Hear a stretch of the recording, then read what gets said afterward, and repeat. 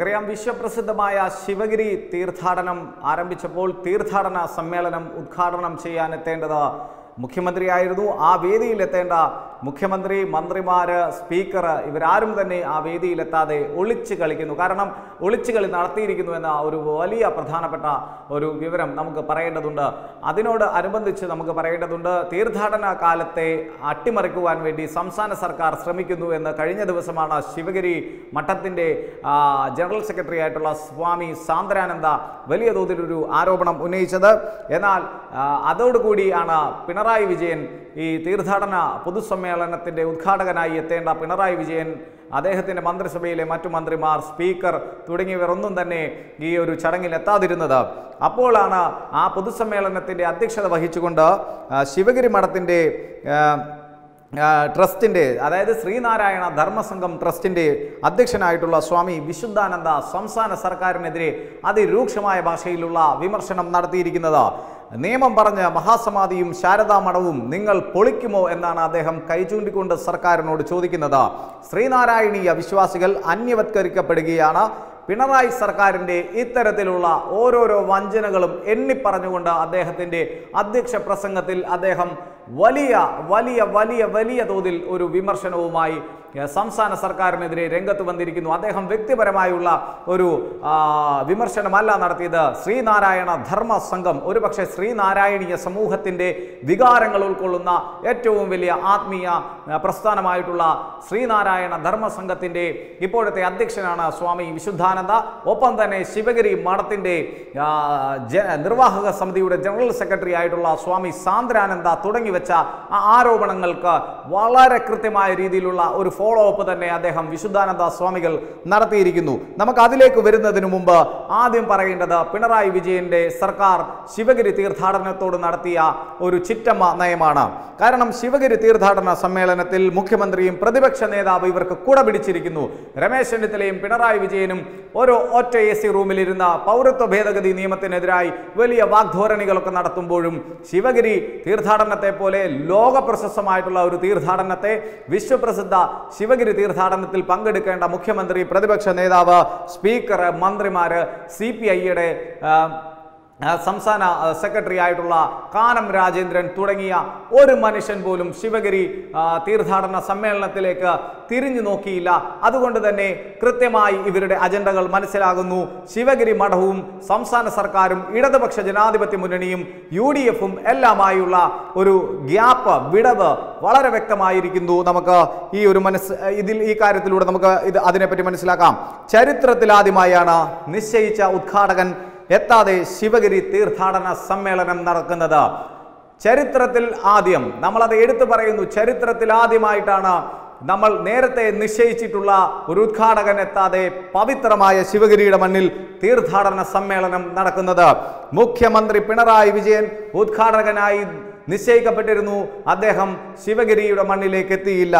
എന്താണ് പിണറായി വിജയൻ? താങ്കൾക്ക് ശിവഗിരി മഠത്തോടും ശ്രീനാരായണീയരോടും എന്തെങ്കിലും തൊട്ടുകൂടായ്മയുണ്ടോ എന്ന് തന്നെ നമുക്ക് ചോദിക്കണം. എന്താണ് രമേശ് ചെന്നിത്തല? താങ്കൾക്കും ഇത്തരത്തിലുള്ള എന്താണ് പിണറായി വിജയൻ കണ്ണുരുട്ടിയിട്ടുണ്ടോ? താങ്കളും ശിവഗിരി മഠത്തിലേക്ക് ചെല്ലാത്തതിന്റെ കാരണം പറയണം. സ്പീക്കർ പി ശ്രീരാമകൃഷ്ണൻ അദ്ദേഹം എന്ത് ന്യായം പറഞ്ഞാലും തൊടുന്യായം പറഞ്ഞാലും അദ്ദേഹത്തിന് എന്താണ് ശിവഗിരിയുമായി ഇപ്പ ഇപ്പോൾ ഇത്ര അസ്പർശ്യത ഉള്ളത് എന്ന് പറയേണ്ടതുണ്ട്.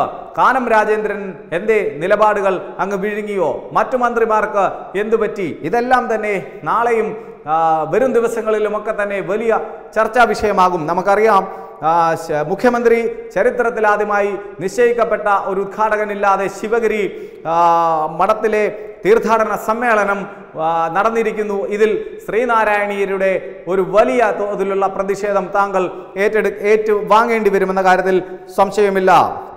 മറ്റൊരു കാര്യം ശ്രീനാരായണ ഗുരുവിനെയും ശിവഗിരിയെയും ചെറുതാക്കുന്ന സമീപനമാണിതെന്ന് വിമർശനം സമ്മേളന വേദിയിൽ നിന്ന് തന്നെ ഉണ്ടായിരിക്കുന്നു. നേതാക്കൾ കൂട്ടത്തോടെ മാറി നിന്നത് ഉദ്ഘാടന സമ്മേളനത്തിന്റെ മാറ്റു കുറച്ചിരിക്കുന്നു. മുഖ്യമന്ത്രിയും പ്രതിപക്ഷ നേതാവും സ്പീക്കറും നിയമസഭാ സമ്മേളനത്തിന്റെ പേരില്ലെങ്കിൽ നോട്ടീസിൽ അവസാനമായി പേര് ചേർത്തതിനാലാണ് കാനം രാജേന്ദ്രൻ വിട്ടുനിന്നത്. ഇന്നലെ വിവിധ സമ്മേളനങ്ങളിൽ ആ സമ്മേളനങ്ങളിൽ പങ്കെടുക്കാമേറ്റിരുന്ന പങ്കെടുക്കാമെന്നേറ്റിരുന്ന മന്ത്രിമാരായ K T Jaleel A K Saseendran മാത്രമല്ല ഇടതുപക്ഷ ജനാധിപത്യ മുന്നണിയിലെ ഒരു പ്രമുഖ നേതാവായിട്ടുള്ള എം പി വീരേന്ദ്രകുമാർ ഇവരും ആരും തന്നെ ശിവഗിരി എന്ന പുണ്യസങ്കേതത്തിലേക്ക് വന്നില്ല. ഇതൊക്കെ തന്നെയാണ് ശിവഗിരി മഠത്തെയും ശ്രീനാരായണ ധർമ്മ പരിപാലന സംഘത്തെയും ഒക്കെ തന്നെ ചൊടിപ്പിച്ചിരിക്കുന്നത്. കൃത്യമായുള്ള വിമർശനം അദ്ദേഹം ശിവഗിരി മഠം എണ്ണിപ്പറഞ്ഞിരിക്കുന്നു നമുക്ക് മനസ്സിലാക്കാം. ശിവഗിരി മഠത്തിന്റെ വികസന പ്രവർത്തനങ്ങൾ നിയമത്തിന്റെ നൂലാമാലകൾ പറഞ്ഞ് ശ്രീനാരായണ ഗുരുവിന്റെ മഹാസമാധിയും ശാരദാ മഠവും മഹാസമാധി ഗ്രഹവും പൊളിച്ചു കളയുമോ എന്ന് ശ്രീനാരായണ ധർമ്മസംഘം പ്രസിഡന്റ് സ്വാമി വിശുദ്ധാനന്ദ തന്റെ അധ്യക്ഷ പ്രസംഗത്തിൽ വലിയ രൂക്ഷമായ ഭാഷയിൽ വിമർശിച്ചിരിക്കുന്നു. നമുക്കറിയാം പിണറായി സർക്കാരിന്റെ വഞ്ചനകൾ എണ്ണി എണ്ണി പറഞ്ഞാണ് അദ്ദേഹം സംസ്ഥാന സർക്കാരിനെതിരെ ആഞ്ഞടിച്ചിരിക്കുന്നത്. ശിവഗിരി മഠത്തെ വെല്ലുവിളിക്കരുതെന്നും ജനപ്രതിനിധികൾ അവരുടെ കർത്തവ്യം ചെയ്തില്ലെങ്കിൽ ശ്രീനാരായണീയർ സംഘടിച്ച് കർത്തവ്യം ചെയ്യിക്കുമെന്നും ശ്രീനാരായണീയർ സംഘടിക്കാതിരിക്കാൻ സംഘടിത ശ്രമം നടക്കുന്നുണ്ടെന്നും വിശുദ്ധാനന്ദ സ്വാമികൾ വലിയ രൂക്ഷമായ ഭാഷയിൽ സംസ്ഥാന സർക്കാരിനെതിരെ വിമർശനം ഉന്നയിച്ചിരി ഉന്നയിച്ചിരിക്കുന്നു. തീർത്ഥാടന സമ്മേളനത്തിലുള്ള സ്ഥിരം ഓഡിറ്റോറിയത്തിന്റെ നിർമ്മാണത്തിന് മുനിസിപ്പാലിറ്റി അടക്കമുള്ള ചില കേന്ദ്രങ്ങൾ നിയമങ്ങളും ചട്ടങ്ങളും പറഞ്ഞ് തടസ്സം നിൽക്കുന്നു. നമുക്ക് ജാതിയില്ല വിളംബരത്തിന്റെ ശതാബ്ദി ആഘോഷങ്ങളുടെ ഭാഗമായി മ്യൂസിയം നിർമ്മിക്കുവാൻ സംസ്ഥാന സർക്കാർ അഞ്ചര കോടി രൂപ അനുവദിച്ചു. അതും മുടക്കിയിരിക്കുന്നു. മഹാസമാധിയുടെ നവതി ആഘോഷത്തിന്റെ ഭാഗമായി നിർമ്മിച്ച അന്നക്ഷേത്രയുടെ നിർമ്മാണവും മുടക്കിയിരിക്കുന്നു.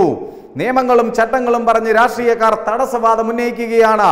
രാഷ്ട്രീയക്കാർ സന്മനസ് കാണിക്കണം അല്ലെങ്കിൽ സന്മനസ്സുണ്ടാക്കാൻ ഒന്നിച്ചു ചേരേണ്ട ഉത്തരവാദിത്വം ശ്രീനാരായണീയ സമൂഹത്തിനുണ്ട്. ശ്രീനാരായണ ഗുരുദേവ ഭക്തർക്കുണ്ട്.